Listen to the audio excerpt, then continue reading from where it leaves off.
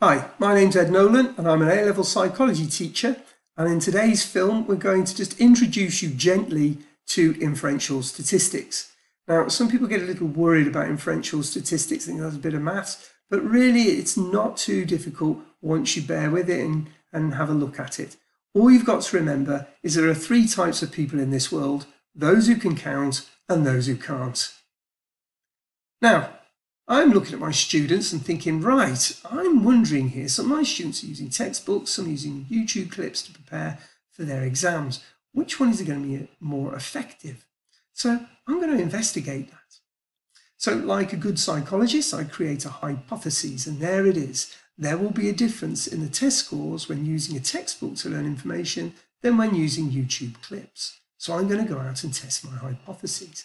So what do I do? I get a group of students, give them a textbook and say, we need to learn this material here. And there they are, all anxiously engaged, bent over, really interested in their books.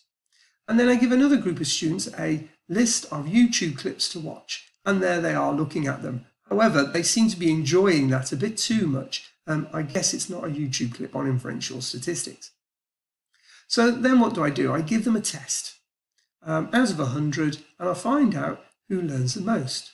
So remember, I'm trying to expect, or I'm expecting to find a difference. So my hypothesis says that there's going to be a difference in the test scores, whether they use a um, textbook or YouTube clip. I'm not quite sure which way it's going to go. That's why it's a non-directional hypothesis. And there's my data. Well, great. I've got, I've got some data. Um, does it support my hypotheses? Well, I think, well, I know what I can do. I know I can use my descriptive statistics and find a measure of central tendency. So there we go, there's the mean data. So I know now that on average, my textbook learners got 66 out of 100 and my YouTube learners got 72. Great. I've got some problems though, because I did use different students in both my conditions. And you know what? The differences could have just occurred by chance. And I'm not sure if they did or not. My hypothesis says that there will be a difference.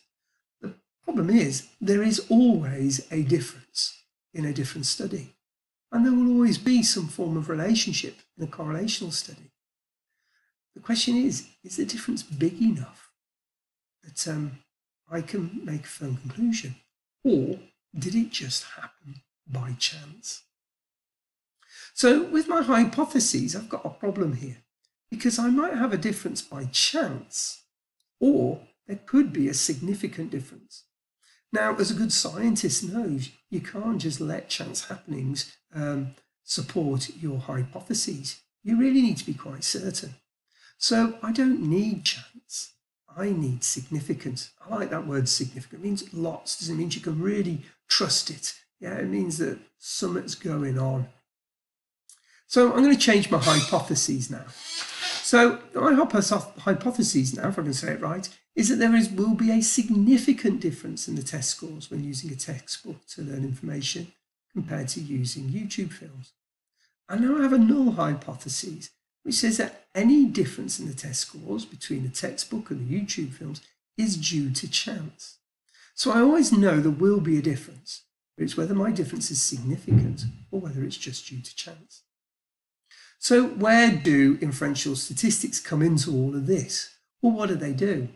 Well, our inferential statistics, what they do is they calculate the probability that my results occurred by chance. So this then establishes whether I can say it's a chance finding or a significant finding. So I'm sure you did this in your GCSE psychology, mm, not psychology, maths classes where you looked at probabilities. Sorry about that. Everything's psychology to me. Um, maths classes, yeah, you did probabilities. And so if I got a coin and I flip my coin, um, what, would I, what was the chance or what's the probability that I will get heads? Well, it's 50%, isn't it? You know, there's two sides to that coin. It's likely to be 50% chance that I will get a heads. Okay? Now, sometimes that is written like this, 0.5 0.5, 0.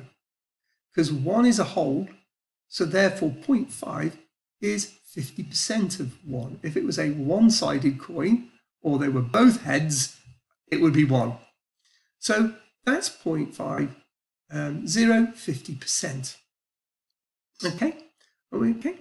So 50% though, could be written like this, that's not great, is it? If I, if I say, well, look, 50% that it's by chance that I get ahead, that's not great. That's not something um, we need to um, base our conclusions on.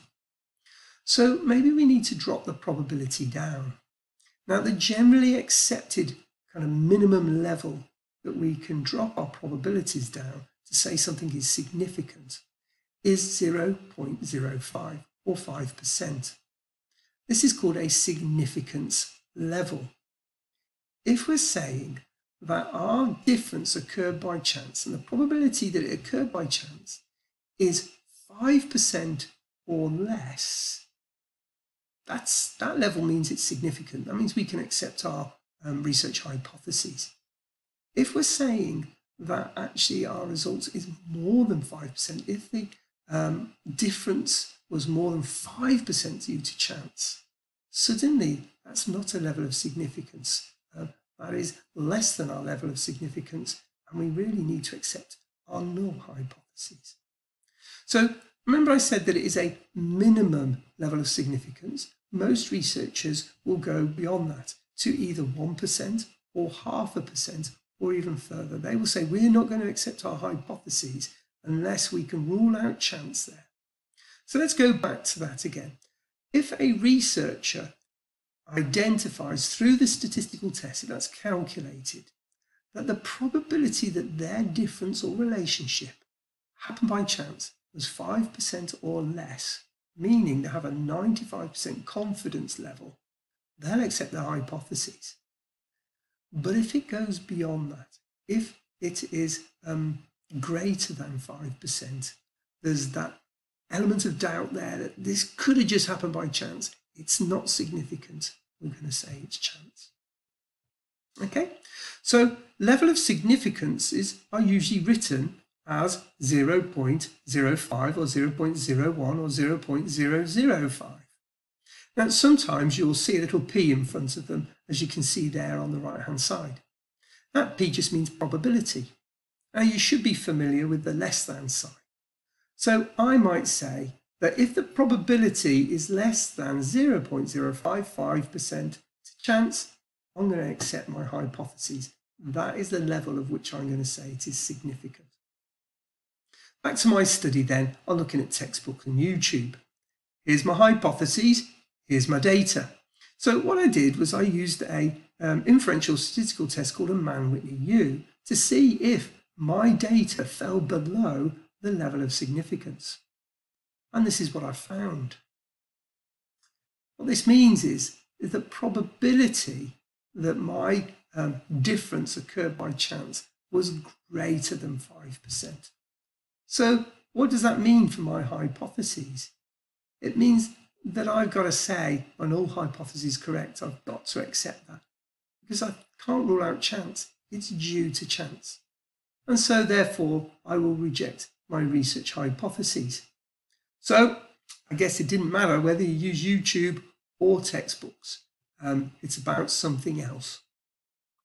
So what have we learned today? We've learned that there will always be a difference or relationship in data from research, always. And so the research hypotheses needs to predict a significant difference for us to accept that. And the null hypotheses predict that any difference or relationship is due to chance.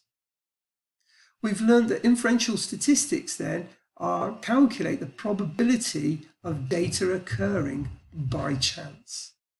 And that we use a level of significance with the probabilities to accept our hypotheses. And the most commonly minimal level of significance that is accepted is 0.05, meaning that the probability that our results just occur by chance is 5% or less. And that probabilities can be presented with a little um, mathematical stuff in front, the p and the less than. Well, well done. We've had our introduction to statistics. I hope this has been useful to you. And uh, good luck with all the rest of your learning. Goodbye.